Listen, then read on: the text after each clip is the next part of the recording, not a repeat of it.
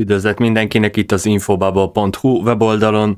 Ebben a videóban a dízel hiányról lesz szó, illetve az autózás jövőjéről, bár ez nem mostani, ez a hír néhány hónappal ezelőtt röppent fel a médiában, hogy dízel hiány várható. Mégis úgy gondoltam, hogy fontos lehet, illetve megnéztem még, hogy mi az, ami az autózással kapcsolatban esetleg ide illik. Mielőtt nekivágnánk ennek a videónak, Megkérnék mindenkit arra, hogy lájkoljátok, illetve osszátok meg tartalmainkat, melyeket megtalálhattok Infobubble, illetve Yahoo útja néven TikTokon, Instagramon, Youtube-on, Facebookon, valamint weboldalainkon, és ha hasznosnak, értékesnek találjátok munkánkat, akkor támogassátok, azt köszönöm azoknak, akik ezt megtették eddig.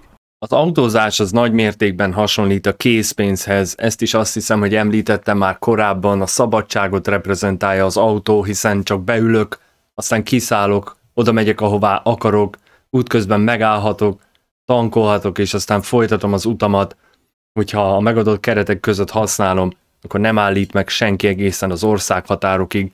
Mivel az infrastruktúra nagyszerűen kiépült, és a technológia lehetővé teszi, hatalmas távolságot az ember le tud küzdeni az autójával. Ugyanez már nem mondható el az elektromos járművekről, amelyeknek a hatósugara az igencsak korlátozott, és az infrastruktúra sem közelíti meg a robbanómotoros üzemű járművekét. A design kétségtelenül csábító, kényelmesebb és sok szempontból úgy hiszem, hogy alkalmasabb is az utazásra, azonban a korlátai sajnálatos módon nem teszik lehetővé azt, hogy átvegye a helyét a hagyományos üzemű autóknak. De pontosan ez a lényege ennek is. Korlátozzák azt, hogy milyen távolságokat tud megtenni az ember, nem csak azáltal, hogy az elemeknek vagy az akkumulátoroknak megvan a kapacitása, illetve az élettartama, de még a töltőállomásokat is oda helyezik el, most már nyilván stratégiailag, ahova szeretnék, és ezzel igen erőteljesen tudják kontrollálni az emberek közlekedését. Dreams.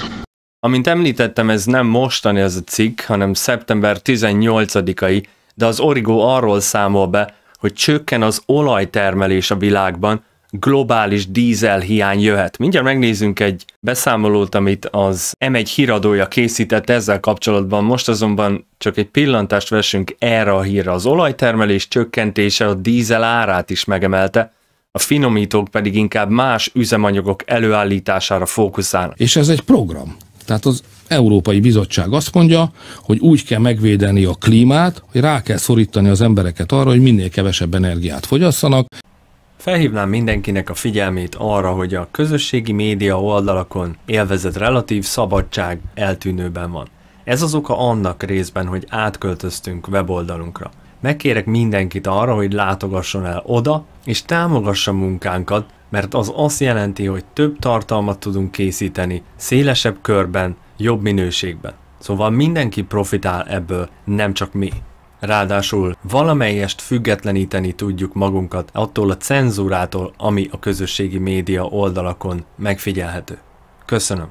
Sajnálatos vagy nem, de az úgynevezett globális és interconnected, vagy mindennel kapcsolatban levő gazdaságnak megvannak az Achilles sarkai, nem is egy ráadásul. Az egyik ezek közül pontosan az, amire rávilágít ez a hír, hogyha az egyik területen beáll valamiféle csökkenés, meghibásodás, korlátozás, akkor az kihatással van a rendszer többi egységére is. Szituációt kell kreálni, amikor az emberek maguk akarják ezt, és annyira ostoba a többség mára, hogy teljesen elhitte és magáévá tette a hazugságot, meg a propagandát, mind a túlnépesedésről, mind a széndiokszid okozta globális felmelegedésről, az ózonjukkal kapcsolatban, de említhetnék bármilyen hazugságot, ami most a köztudatban tényként raktározódott el az embereknek az elméjében. Könyörgöm. Ezeket mind ők találják ki, és aztán a reakció a lényeg erre, hogy az emberiség elfogadja azt a reakciót, amit ők megszerkesztettek számunkra,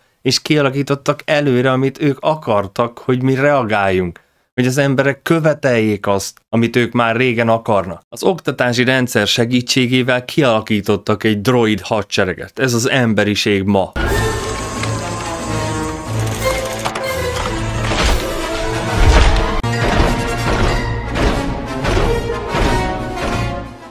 Úgy intézték, hogy mindenki megtanulja ugyanazt a propagandát, ugyanazt a programot, és szajkózza vissza és védelmezze a rendszert a saját élete árán is. There is a robot in this formation that does not belong. Identify it. One of us. Which one? One of us.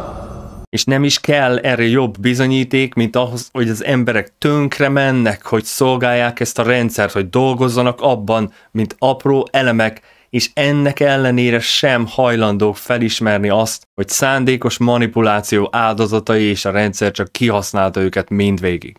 Meg kell értened, a legtöbb közülük nem érett meg a valóságra. És sokuk úgy megszokta, oly gyógyíthatatlanul függ a rendszertől, hogy foggal, körömmel védeni fogja. Cél a fenntartható fejlődés tervezetének betartása, ugye, amit minden ország elfogadott, hiszen kénytelen volt az emberiség, az emberek tulajdonképpen a tudatlan, programozott emberi tömegek követelik azt, hogy mindenki vegyen részt, hiszen meg fog halni a Föld, hogyha még több széndiokszidot lélegzünk ki. One of us. Which one? One of us.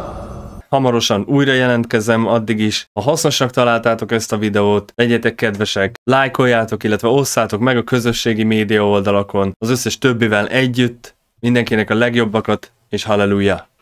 It is a big idea, a new world order. Hölgyeim és uraim, kérem nézzenek bele! Amennyiben a teljes videót szeretnétek látni, az infobubble.hu, illetve a yahuautja.hu weboldalon ez elérhető.